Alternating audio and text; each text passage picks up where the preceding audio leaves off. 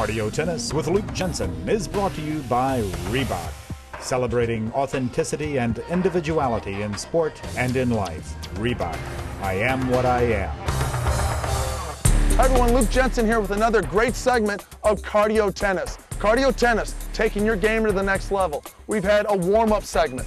We've had a drill-based segment. We've had a play-based segment. Now it's the sideline drill segment. What does that mean? We're gonna work on your footwork, your conditioning, and your coordination. Yeah, I know, you guys work with those big steps when you're trying to hit the ball. But we have ladders on the sidelines. Most cardio tennis drills you're gonna see from California to Maine have ladders. What does that mean? Short steps. Short, choppy steps to keep your knees high, moving side to side. Tennis is not about distance. It's a very short confined area. So when you're hitting volleys, turning for return of serves, returning ground strokes, you've got to make quick movements. Decisive, decisive movements to make you a better tennis player. And ladders help. It improves conditioning. Of course, being fit is everything. We don't have clocks in tennis. Not like basketball and football. As soon as the clock's over, game over.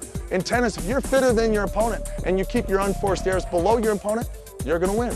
Watch these players here. They're going on the sideline. They're doing crunches. They're doing ladders. They're doing hurdles. What does this mean? They're making themselves better athletes. They can play other sports, but in tennis, this is the perfect workout. Besides everything else, making you a better tennis player.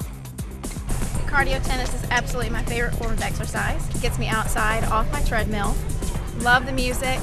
Um, it keeps me doing what I love and improving my game, and at the same time getting exercise, and I don't even feel like I'm exercising.